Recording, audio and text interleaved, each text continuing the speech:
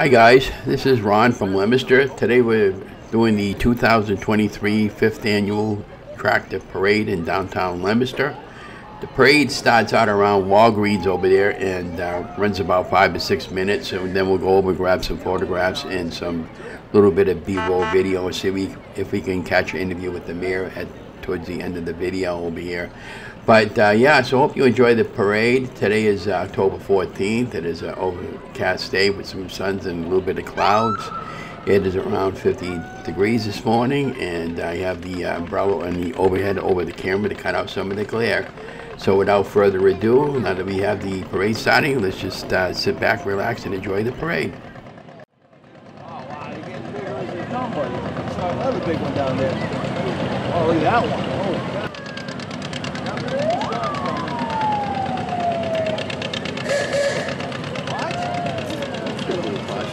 Holy cow. Right there.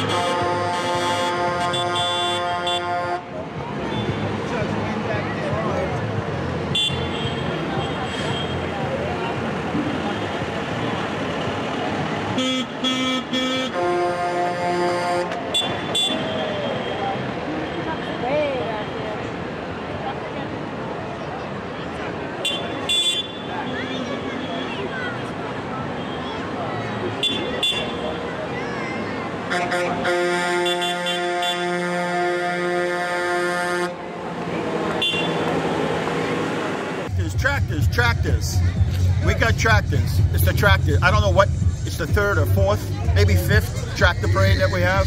And each year we get more and more. Yeah, we got sunshine. We got more and more uh, tractors every year. And look at the kids, they're just having a ball.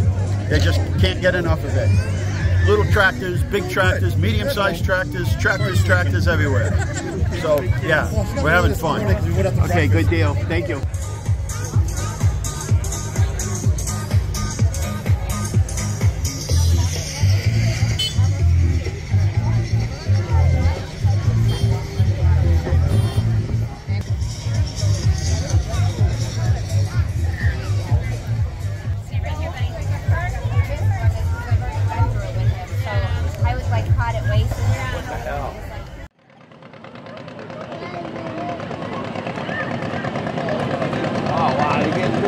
I saw another big one down there.